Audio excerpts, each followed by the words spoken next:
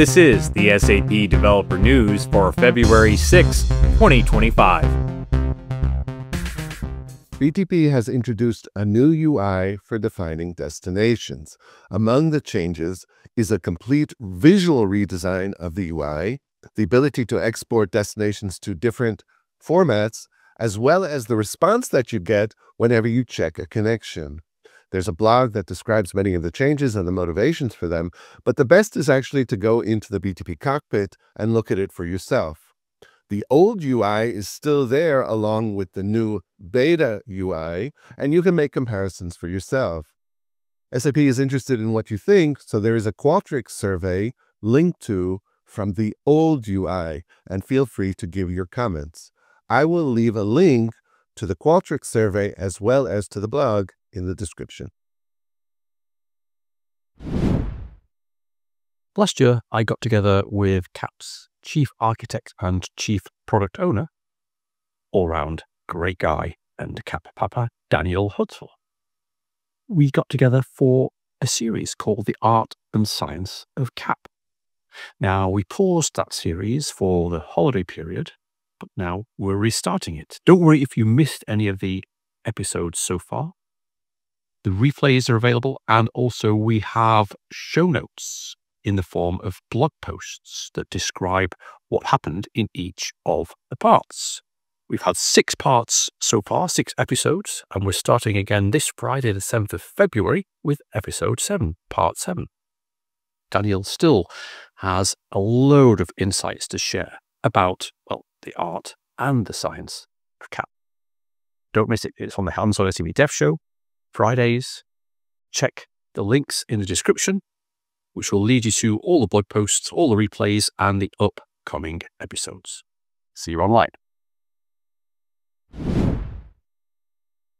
Hey everybody. Want to make you aware of a new blog post that came out from Boris Zarske that was published on the SAP community.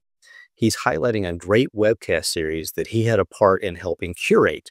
Uh, there's two halves to this webcast series. It's being produced by the Global User Groups Organization. Uh, the team putting this on has a lot of great knowledge and they want to share with two different halves. One half is on BTP and the other half is on what Boris helped out with, which is called Day 2 Operations. So these sessions are starting on February 18th. The first is going to be on BTP. It'll be led by an expert, either a product manager or somebody else from the organization that will stay around after the event, as with every event, for Q&A sessions.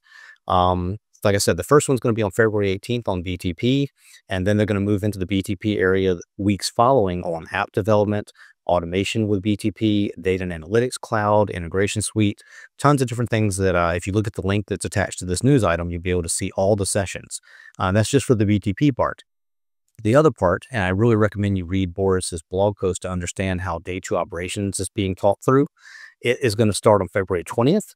And that first deep dive session they're going to have is going to be an overview for experts and beginners. And in that first session on February 20th, they'll be going through that topic area and then moving on to day two operations with SAP Cloud ALM and then moving into things like Terraform Provider for SAP BTP and many more other sessions. So hopefully you can go to the website and register for all these great events being put on by the Global User uh, Group Organization team and learn about BTP as well as day two operations. Talk to you later. If you're a regular viewer of the SAP Developer News, you'll know about SAP BTP. But did you know about the SAP BTP guidance framework? No? Well, it's fairly new, and it's a guidance framework for architects, developers, and administrators to build and run enterprise-grade solutions on BTP. What's more, there's a blog post explaining all about this framework, including a three-part live video series. Parts one and two are already done, but of course you can watch the replays, and part three is next week. So head on over to CC's blog post to find out all about the framework and all about the video series. Hola, SAP developers. Have you seen the new SAP Community Escape House? Well, it is a virtual escape house created by the developer advocates team. It consists of multiple rooms that you can play in your browser. It is a fun, interactive way to learn about SAP technologies. This year's developer challenges are in the SAP Community Escape House. Like last year, there is a new developer challenge every month, unlocking a new room in the Escape House. January's developer challenge, Escape Room, was about UI5. Now, February's developer challenge is all about SAP Integration Suite and its optional hybrid runtime. If you want to learn about it, go check out the SAP Community Escape House. I'm including the link in the description.